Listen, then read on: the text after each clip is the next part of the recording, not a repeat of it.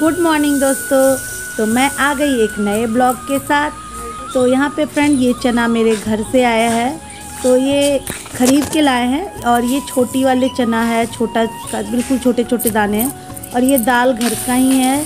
तो ये मैं सोची धूप लगा देती हूँ क्योंकि अब हमारे यहाँ बरसात स्टार्ट हो जाएगी और हमारे यहाँ सत्ताईस तारीख से मानसून भी आ जाएगा। तो जो भी मुझे सुखाना वगैरह सब सुखा लूँगी क्योंकि हमारे यहाँ बहुत ज़्यादा बारिश होती है झारखंड में।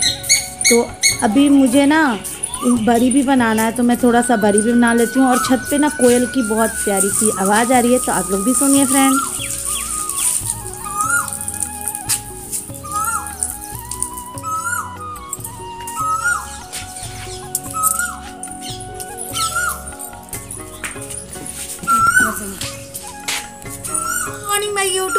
कैसे हैं आप सब? आपका स्वागत है आपके अपने ही चैनल सुबह कुमारी देसी ब्लॉग में।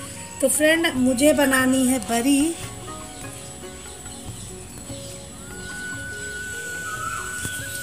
तो ये बरी मैं बना रही हूँ फ्रेंड। और मैंने चना भी इधर डाल दिया। गाँव से आया है तो इसीलिए सबको मैं सूखने दे दी हूँ। क्योंकि बरसात हमारे यहाँ बहुत ज़्यादा नमी हो जाता है तो सब खराब हो जाएगा। तो मेरा सभी नीचे काम हो गया है, झाड़ू पोछा क्लीनिंग का टोटल काम कर दी हूँ मैं। बस जाना है, मुझे नाश्ता बनाना है। तो नाश्ता में भी मैंने सब्ज़ी बना के रखा है, कटहल का रात का बचा हुआ है।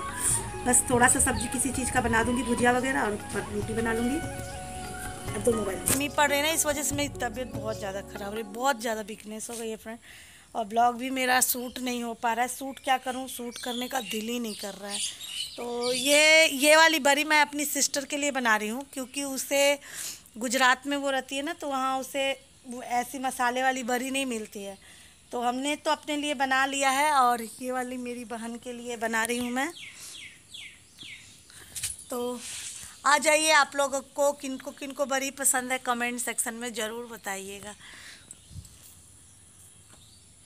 और यहाँ पे देखिए, ये लेटे पड़े हैं। देखिए, आजकल मॉर्निंग रूटीन बिल्कुल मेरी बेकार हो गई है। कोई ढंग से काम हो ही नहीं रहा है फ्रेंड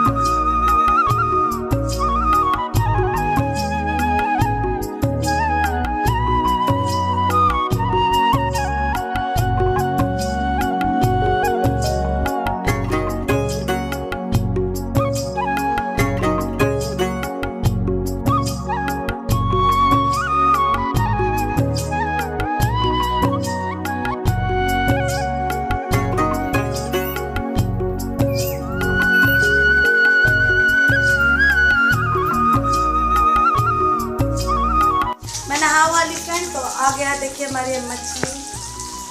और ये रही छोटी वाली मछली। और ये रही बड़ी वाली। और आए हुए हैं मेरे हस्बैंड तो मेरे यहाँ तो आपको पता ही है कि मेरे हस्बैंड जब आते हैं तो तो अभी मैं इसे फ्राई कर रही हूँ। और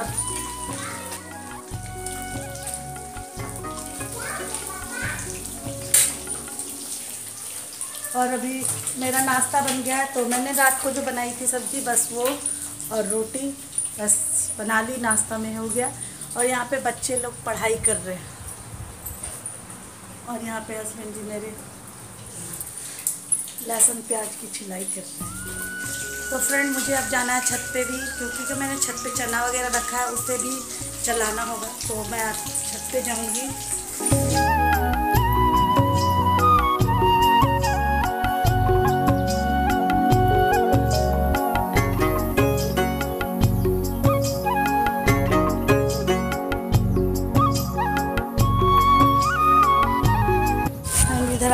मैं डाल दी हूँ। और ये रहा देखिए, आलू का चिप्स है, उधर चना है, और धूप बहुत तेज है फ्रेंड, बहुत ज़्यादा तेज है धूप। तो चलते हैं नीचे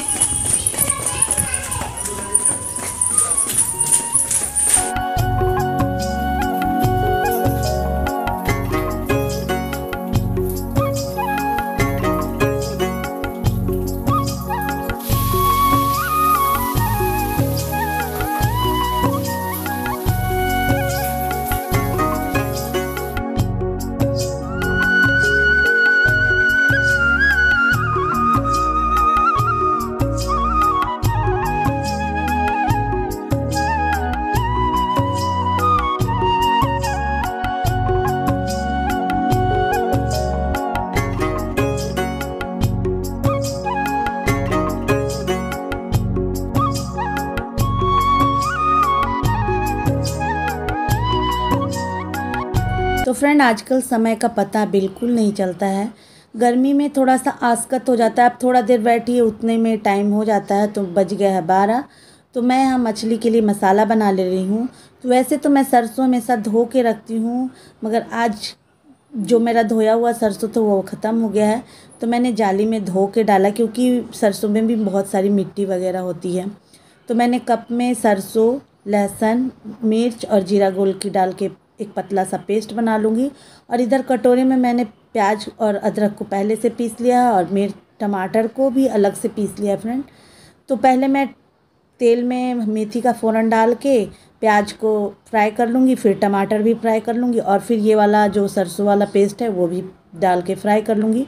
तो मेरी माँ इसी तरह बनाती थी और आ, हर लड़की अपनी माँ से ही सब कुछ सीखती है। तो आज का ब्लॉग मैं यहीं पे एंड करती हूँ। अगर ब्लॉग आप लोग को थोड़ा सा भी अच्छा लगा हो तो प्लीज़ प्लीज़ चैनल को सब्सक्राइब कर लीजिएगा लाइक, कमेंट, शेयर ज़रूर कीजिएगा। तो मिलते हैं नेक्स्ट ब्लॉग में। Thanks for watching my